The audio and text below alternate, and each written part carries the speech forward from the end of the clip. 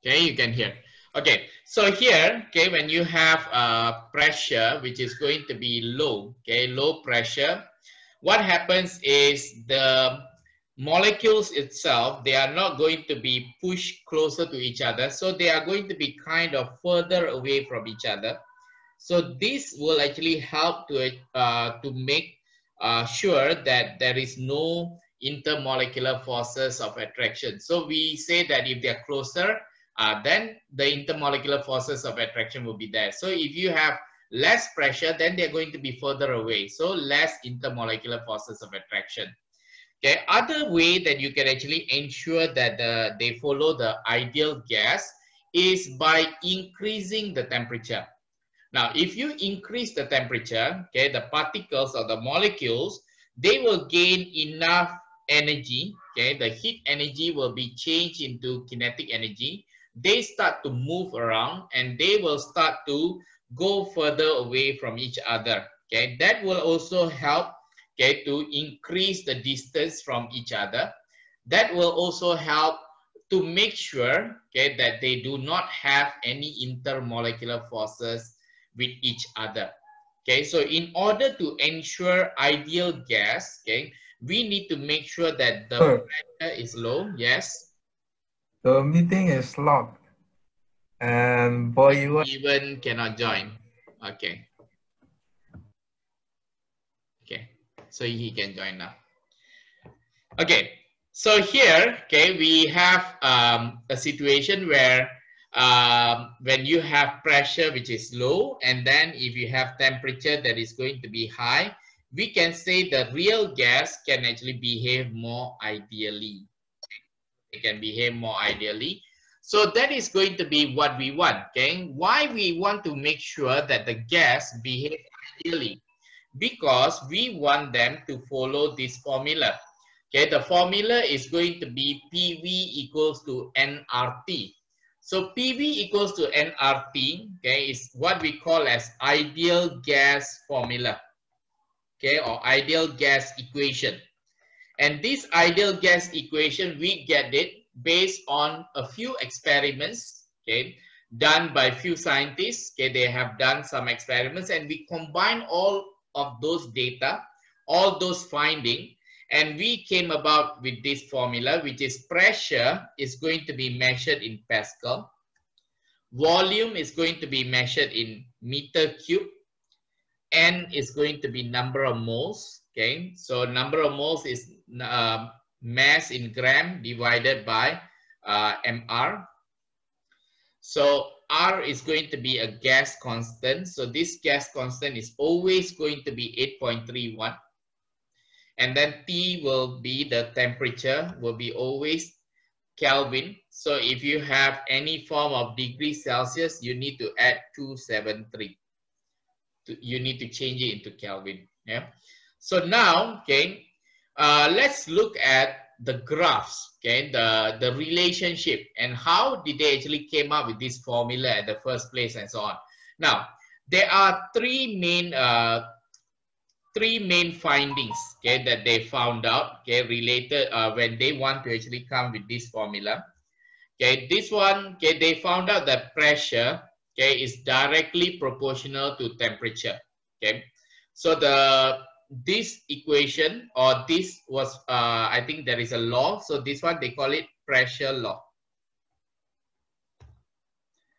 And then there is also a finding, okay, where volume is directly proportional to temperature. So just to actually uh, look at it, you see a pressure is directly proportional to temperature means uh, when you increase the temperature, generally pressure increases.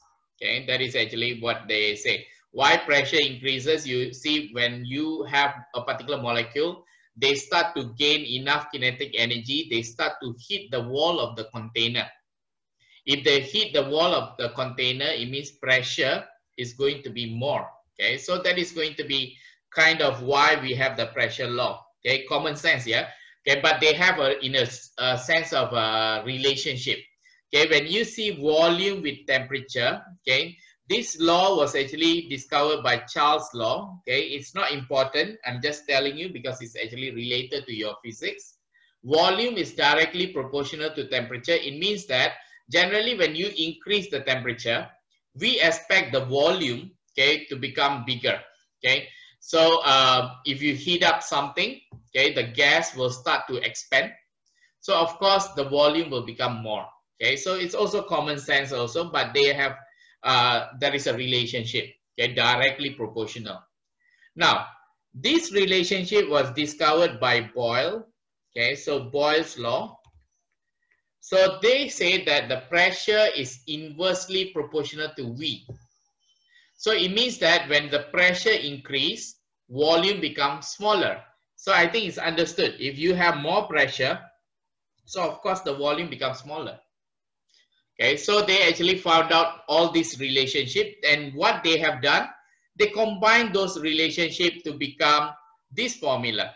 Okay, how did they combine? I think it started like this. P is directly, um, okay, if you put like P directly proportional with uh, T. And then P is also inversely proportional to V. So they put like this, okay. And then they found out that if you draw a graph, okay, they found out it's a straight line graph. So whatever it is, okay, they found out Okay, if I bring this here, I have PV directly proportional to T. If you want to change this equation into uh, K, so it will be like this, K is a constant. So they found out the constant, okay, is actually either N and R. And do remember N is number of moles, it's not actually a constant. Okay, if you have the same sample, then it's constant. But different sample, different mass, is going to be different. So they've calculated the value of R, but whatever it is, okay, let's actually forget about this first. Okay, so what they have done, okay, they have actually put this in form of graph, okay. So if you have, okay, if you follow the things that I actually mentioned to you just now, okay, they have actually like, for example, V directly proportional to T. So if I have graph, okay, that graph will look like this. It's a straight line graph. Okay, it's a straight line graph. So if I have like, for example, P directly proportional to T, then the graph will be also a straight line graph. How about P directly proportional to 1 over V? So let's say P and 1 over V I put over there. So it's going to be a straight line graph also, 1 over V. But since I say it's inversely proportional to V, so if I have P and V, so Christopher, what do you think the graph, if let's say, let's say you have y equals to 1 over x, how 1 over x will look like, the graph? Uh, it's going to be like a straight line, but with a negative. No, it should be like this, right? going down. Yeah. Uh, what graph is this? I think, is it called reciprocal graph, I think?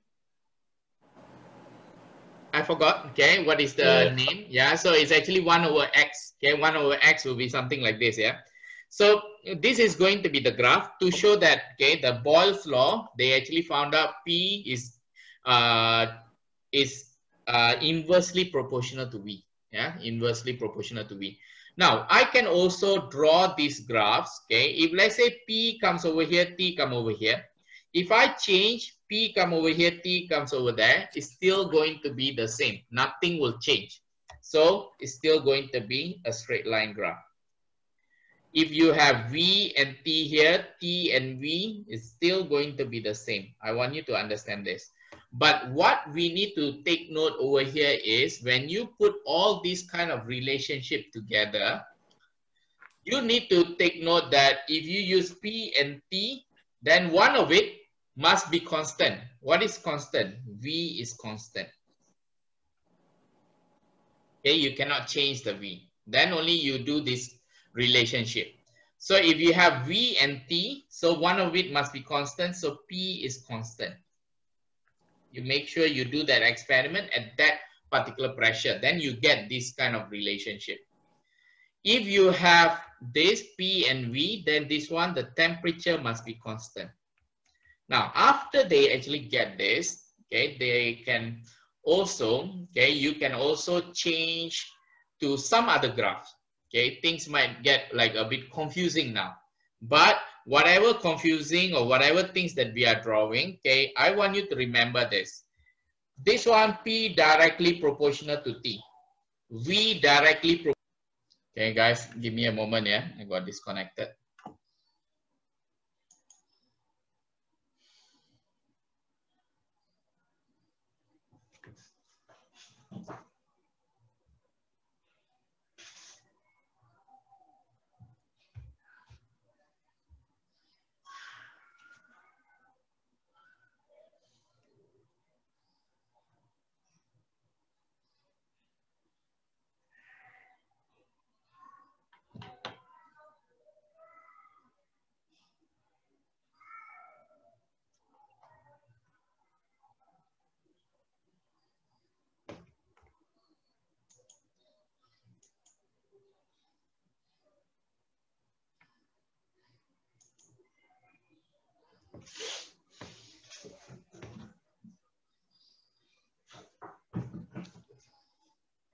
Christopher, can you hear me? Yeah. I think my connection is not that strong. I will try to share the screen.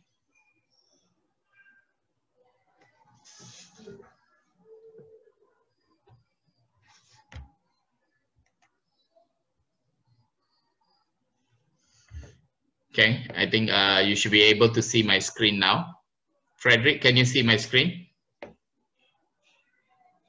Yes. Okay. Now, uh, what I wanted to say just now is when you have, okay, P and T, the relationship is like that. V and T, the relationship is like this. When it comes to P and V, the relationship is like this, okay? So if they give you any kind of graph, they ask you to uh, predict what will be the graph, okay? How it, it will look like and so on, okay? Please take note of that. Okay, like for example, P is directly proportional to T. So if they give you P with 1 over T, okay, what will be uh, the graph that you expect, Nicholas? Straight line. No.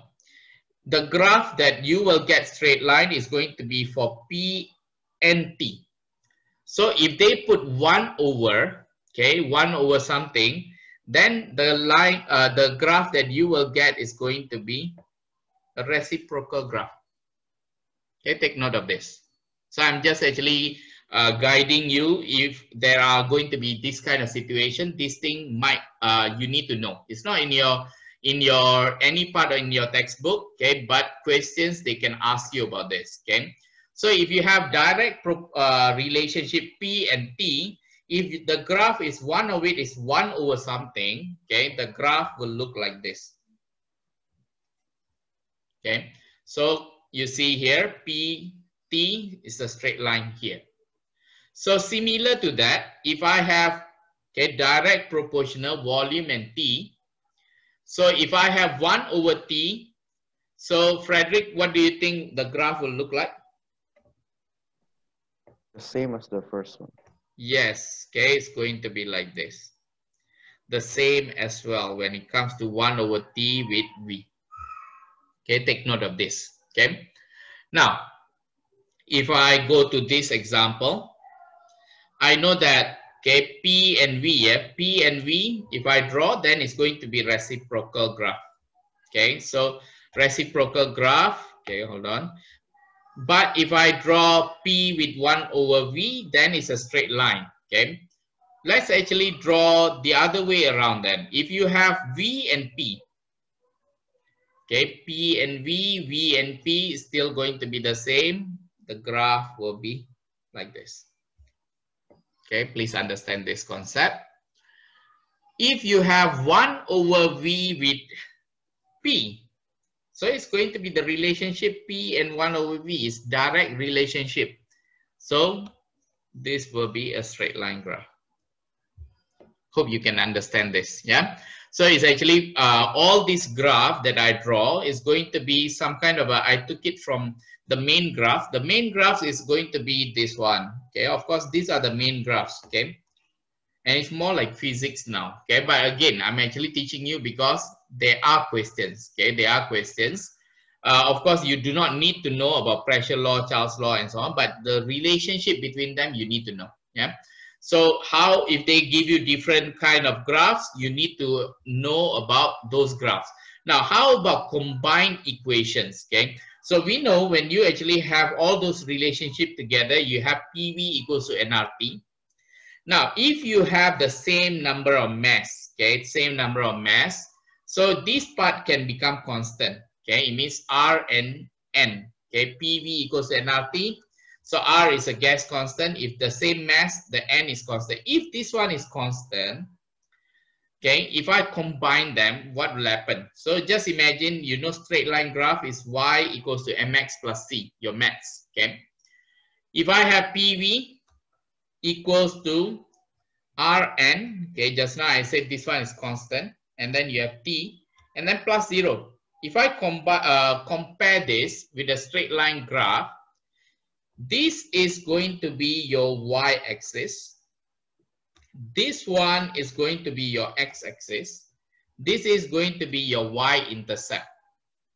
So if I represent this in this kind of way, PV comes over here and T comes over here. It is very important that you know that the graph will look like this, passing through zero straight line because I just mentioned to you, they will follow a straight line graph. Okay, this is another graph that you need to know. Okay, you can get this uh, graph based on this equation. Okay, so if let's say they give you some gradient and you can find the gradient, actually you can calculate the n number of moles if you know the gradient. Why? Because we know that the gradient is r times n. And if you know the r, I think uh, you should know what is the r, 8.31. You can always calculate n if you know the gradient. Okay, you can always calculate. So this one you need to know, yeah. Now, I have actually also put this in form of different kind of graphs. If you have PV, okay, do remember I'll put PV equals to nRT. PV equals to nRT. If it is against T, then it's a straight line. But what happens if I have PV against V? PV against P. Now, if you follow the straight line graph, okay, Y equals to mx plus T uh, plus C, the x-axis is going to be the T. Now, if you have y-axis as PV, and then suddenly you increase the P or you increase the V, do you have any effect to the graph? Josh?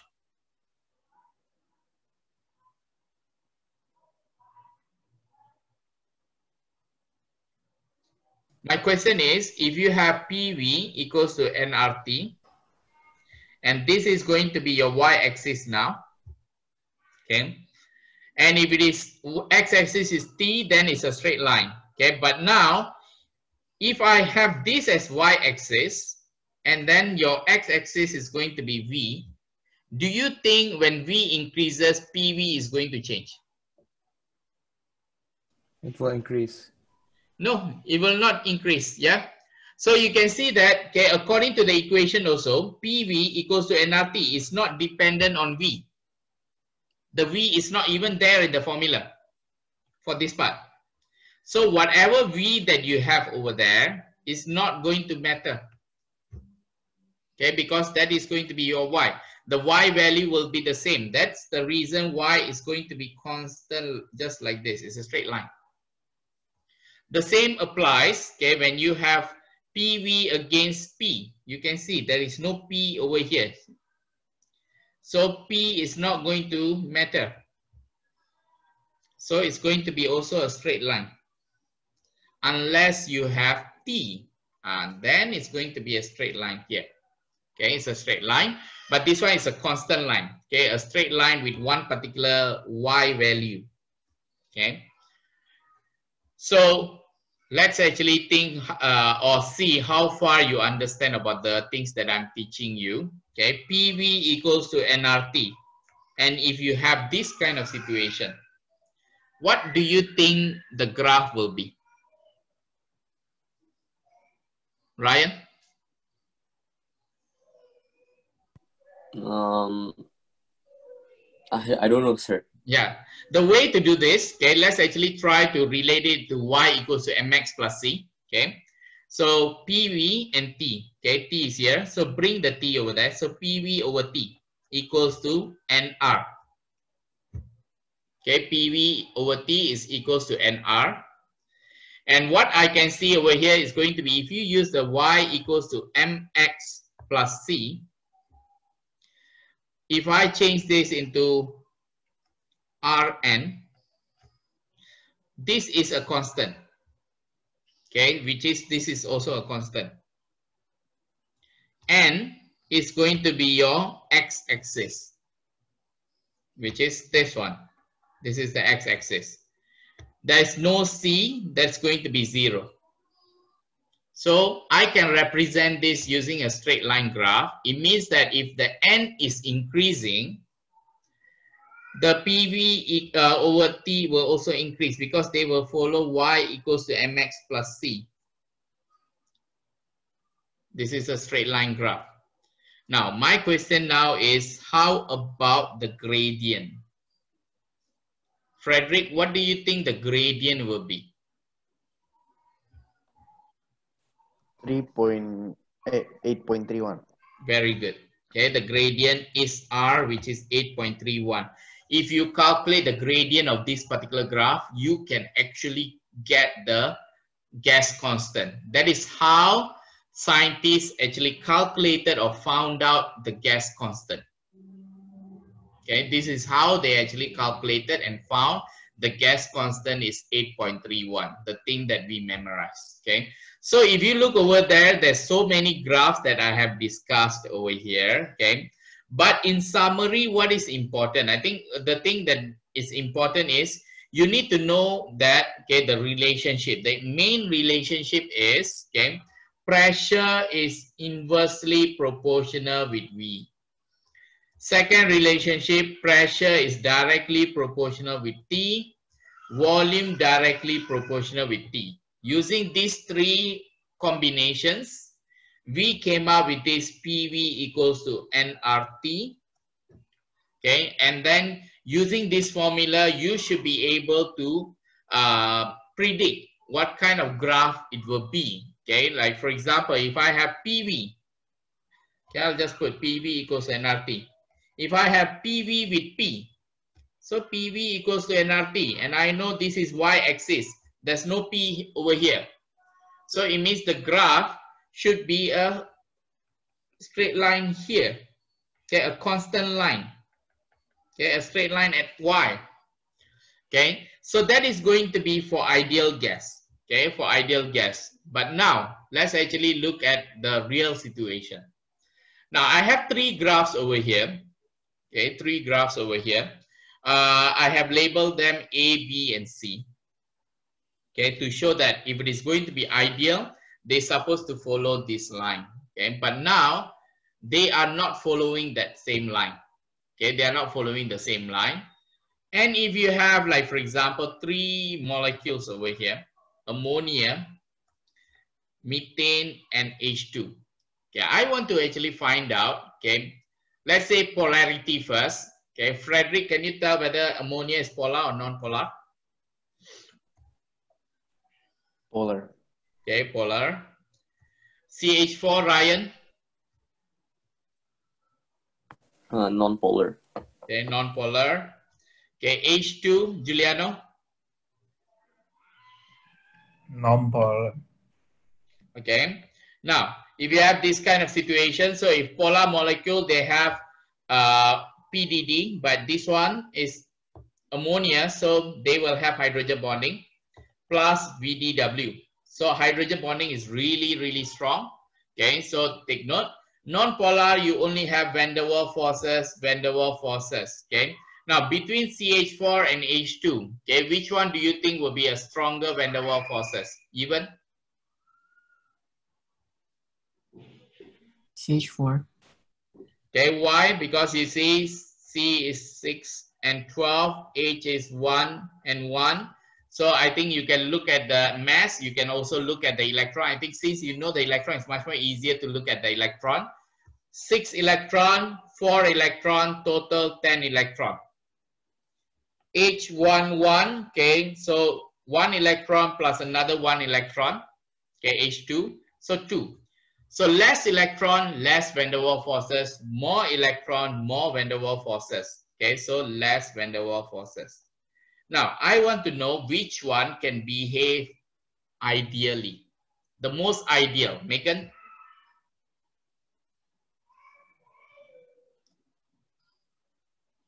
Which one is most ideal? Ideal gas means no intermolecular forces, negligible volume.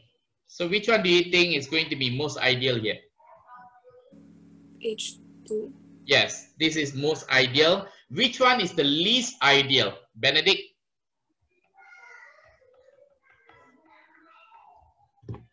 CH4. No. Okay. Van then der Waals forces compared to hydrogen bonding. Which one is stronger?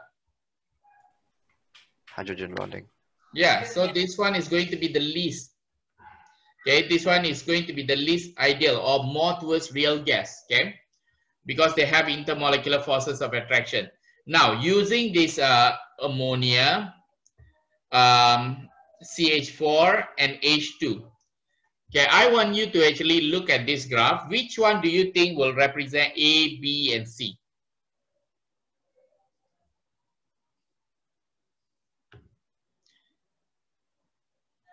Do you know what's the meaning of deviate? Nicholas Chai? I, don't know. Deviate means, okay, deviate means not the same or they are different, okay, or they are going against, okay, they are going against. Uh, they are not equivalent, okay, so deviate means they are going different way, kind of that. So if you look over here, it's supposed to be ideal gas, They're supposed to follow this line, but there are three different graphs over here. There is one graph that deviates a lot from the ideal gas. Can you tell me which graph that deviates more from the ideal gas? So you have A, B, C. Which one will be the one that deviates more?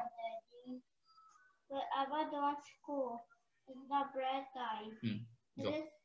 It is school. Okay, Arvin, can you tell me which one actually deviates more? Is it B?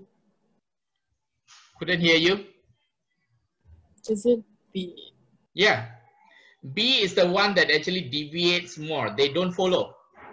Okay, they don't follow. And then can you tell me which one somehow closely following the ideal gas? Frederick? Compared to ABC, which one closely following ideal gas? A. Yeah, A. They deviate less. Okay, they deviate less. Now, something that closely follows the ideal gas, can you tell me if I want to label A, what A might be? Something that is closer to ideal gas. Which one will be closer to ideal gas? Megan? H2. Yeah.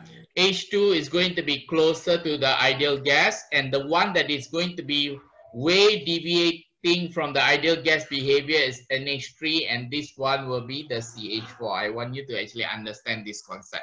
Okay, deviating, okay, deviating and using this graph. This graph came out, okay, in one of the passe paper as well, okay, so I'm showing you, but again, that graph is not limited to that. You can have any of these graphs,